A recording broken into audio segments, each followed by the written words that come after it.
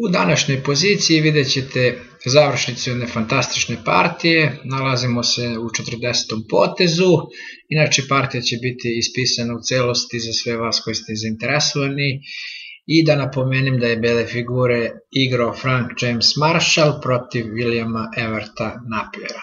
Nakon pomeranja pešaka H6 Maršal napada kralja svojim skakačem, dajući mu šah i ujedno ga prisiljava na razmjenu. Kao što vidite, dolazak pešaka na f7 je jako rizičan po crnog jer preti opasnost eventualnog dolaska dame, prisilnog napada na kralja i prisilne razmene, tako da bi u tom slučaju beli sigurno bio pobednik. U ovoj poziciji crni se odlučuje da skloni svog kralja, ne bi li izbegao ove nelagodnosti, a maršal igra damom g3 s jedne strane otvara izlazak topa, eventualni napad topom i ujedno štiti od mogućeg napada damom G5 i šaha i napada, kao što vidite, na belog kralja.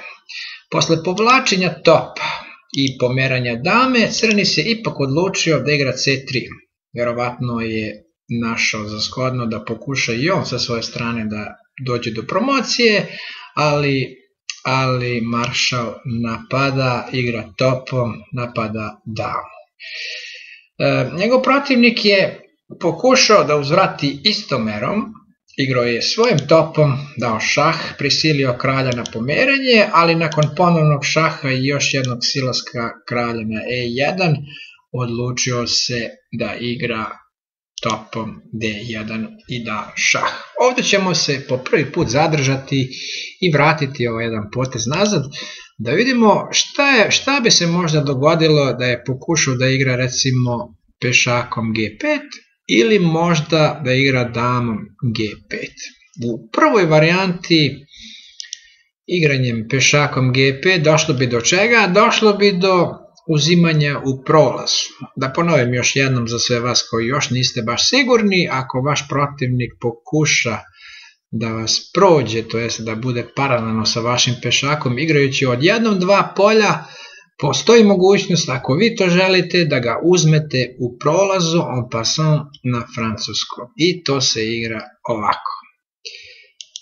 F1 G6 i šah u, ovom, ovoj varijanti. Kralj bi bio prisiljen na pomeranje na G7, ali nakon pešak izlazi na F8 i naravno nakon promocije u najlepšu figuru i najjaču damu, ovo bi bio mat.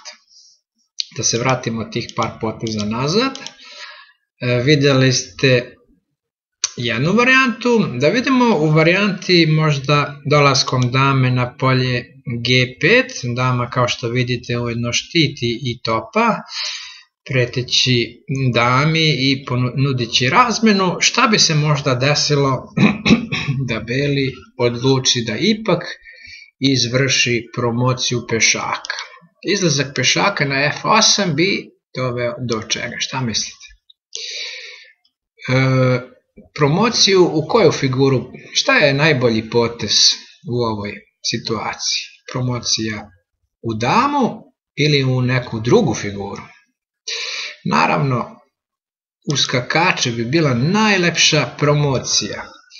Zato što? Zato što taj skakač napada kralja, dajući mu šah, prisiljava kralja na povratak ili na G8 ili na H8, u varijanti isti rezultat, u varijanti kralj G8 recimo, nakon otkrivenog šaha od strane skakača G6 i nakon pomeranja kralja koji ima dve moguće varijante, jedna je kralj H7 ili kralj F7, u prvoj varijanti kralj H7 bilo bi došlo bi do, do mata topom H8, a ako se vratimo ovih dva poteza nazad, da li bi nešto promenilo pomeranje kralja na F7? Pa naravno ništa jer top F8 bi isto bio fantastičan mat. To su neke varijante, mi se vraćamo našoj originalnoj partiji u kojoj nakon silaska kralja na E1 Najper odlučuje da napadne igrajući topom D1 dajući šah. Posle ovog poteza maršal je odlučio da uzme top. Došlo je do još jednog napada od duše od strane dame, još jednog šaha i e, još jednog pomeranja kralja. Posle ponovnog šaha kralj se odlučio na fantastično polje. Šta mislite, koje je najbolje polje po belog i koje je najbolji potez naravno po belog? Da li biste vi igrali kraljem E2, zaštitili vašu damu? U ovoj partiji maršal igra fantastičan potez. Igra kraljem F2. A njegov protivnik se ipak odlučuje da uzme poklonjenu damu. Dama uzima damu. Ovdje ćemo se vratiti još jednom, ali vratit ćemo se nakon završetka ove partije, pokazat ću vam prvo originalne poteze, a onda ćemo se vratiti da vidimo još jednu moguću varijantu u ovoj poziciji. Šta mislite šta je igrao Marshall? Šta biste vi igrali da ste bili i kako biste vi završili ovu fantastičnu partiju? Pa mogli ste možda malo pre da vidite na nekim ovim mogućim varijantama interesantan nastavak, a to je Marshall je baš igrao taj fantastičan potez. Pešak F8, izlazak pešaka i promocija, ali ne u najjaču figuru i damu, već, već u skakača i ujedno šah. Ova fantastična pozicija kralja i omogućila Belom da napadne, dobije na tempu i odigra nakon pomeranja kralja još jednom skakačem još jednom da šah, posle čega je kralju nije preostalo puno, on se odlučio na f7 i bio je matiran topom f8. Naravno, ovako se završila ova fantastična partija, bit će ispisana ispod ovog snimka ali bih vas zamolio da ne isključujete, da se vratimo još jednom nazad, da se vratimo još jednom na zanimljiv deo i ovde ste videli nakon fantastičnog poteza maršala kralj F2 ostavljanje na milost i nemilost dame da je njegov protivnik se odlučio da uzme damu. Šta bi se dogodilo da je možda umesto toga pokušao da nastavi da napada kralja dajući šah. Da li bi to nešto promenilo krajni rezultat i ovaj mat? Da vidimo.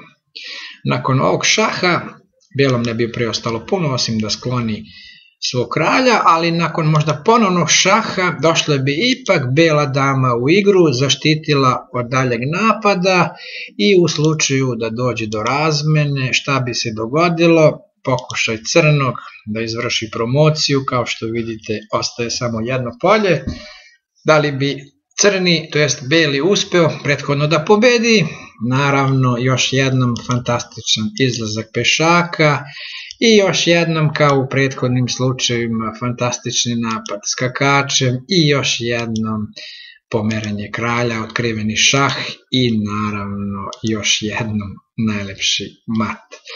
Tako bi se možda završila ova partija. U svakom slučaju videli ste je videli ste kraj ove partije, možete je ispisati i sami isprobati i ja vas puno pozdravljam i do sledećeg snimka.